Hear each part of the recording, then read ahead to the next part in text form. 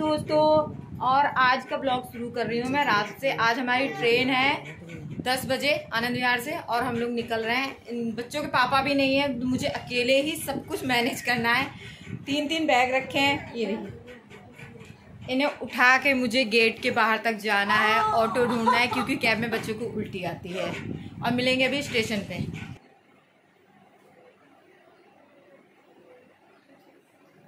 ये तीनों बैग मैंने अपने सेकंड फ्लोर से नीचे उतारे ग्राउंड फ्लोर पे लेके आई और ये पीहू और बेटू यहीं पे थे। तो मैं गई थी बाहर ऑटो लेने। ऑटो बड़ी देर से मिला ये मुझे डर लग रहा था कहीं हम लोग लेट ना हो जाए स्टेशन पहुँचने में, क्योंकि हस्बैंड भी चले गए थे, वो नहीं यहाँ पे। मुझे लग रहा था मैं जल्दी से स्टेशन पहुँच जाऊँ, क्योंकि वो ट्रेन छूट गई है। तो मेरी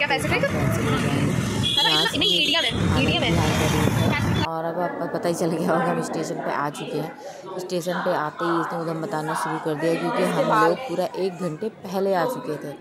मगर एक तसली थी कि चलो पहले आ गए हैं ट्रेन छूटेगी नहीं ट्रेन जब लगेगी तो हम हमारी ट्रेन ट्रेन आते ही सबसे पहले हमने क्या किया कि बैठ गए खाना खाने के लिए क्योंकि जल्दी जल्दी में हम बस निकल आए थे कि जल्दी से स्टेशन पहुँच जाए खाना पीना हम सब वहीं कर लेंगे।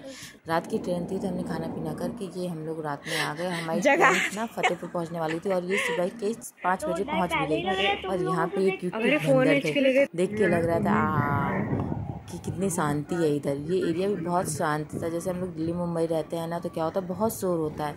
यहाँ पे बहुत शांति थी, बहुत सुकून था। और घर पहुँच के घर पे हैं दो छोटी छोटी क्यूट क्यूट बिल्लियाँ। और ये इनके साथ ही, बिल्लियों के साथ ही खेल रहा था। देख देख के बहुत खुश हो रहा था। बिल्लियाँ भी अभी तो बहुत खुश है, बेचारी बाद में डरेंगी। इसके बाद ये हम पहुँच गए छत पे। छत से हमारी